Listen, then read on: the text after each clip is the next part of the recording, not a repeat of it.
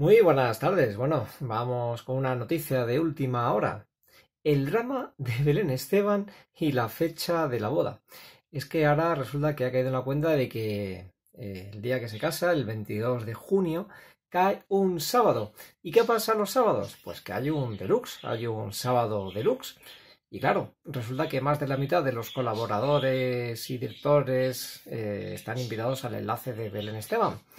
¿Problema? Pues claro, que si hay un programa, ¿cómo van a acudir los colaboradores? O hacen de repente el deluxe, lo hacen en la propia, en la propia boda, o bueno, mejor dicho, en el, en el propio lugar donde se celebrará el, el banquete, o tiene difícil, difícil solución. Y además, claro, no creo que se puedan meter ahí las cámaras porque si Belén Esteban ha prohibido hasta que se metan teléfonos móviles, pues imagínense ustedes, la exclusiva saltaría por los aires.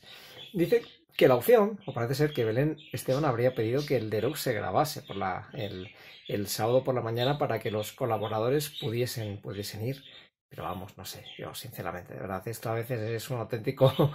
yo creo que Belén Esteban y los demás siempre buscan dramas donde no los hay. Bueno, pues ese día que no haya deluxe o que pasen el deluxe al viernes por la noche. Yo creo que es tan sencillo como eso. Pero nada, Faltan, pues eso, unos tres meses para, la, para el enlace de Marras, o menos de tres meses.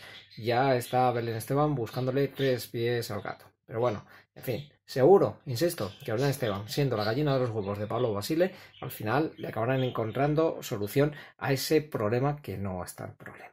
En fin, pero es que esta gente vive de los dramas. Si no viviera de los dramas, pues no, no estarían ahí, en el candelero. Muy buenas tardes y que tengan ustedes una feliz tarde de lunes.